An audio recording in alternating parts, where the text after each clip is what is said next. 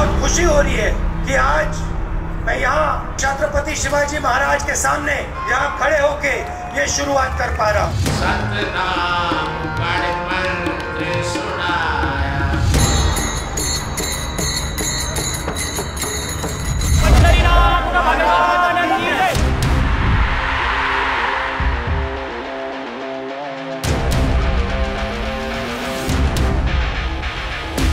आप वनवासी नहीं हो, आप आदिवासी हो और आप ओरिजिनल मालिक हो इस देश के।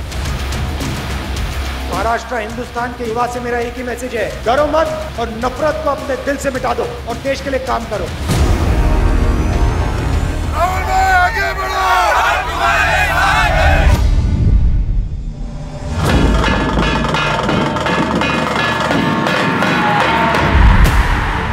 नफरत छोड़ो और डरो मत। Are the two singular focal points for which we have join जब तुम अपने मस्तक पर बर्फ़ का पहला तूफ़ान झेलोगे और कांपोगे नहीं, तब जानोगे कि कुछ फ़र्क नहीं है। सब कुछ जीत जाने में और अंत तक हिम्मत न हारने में।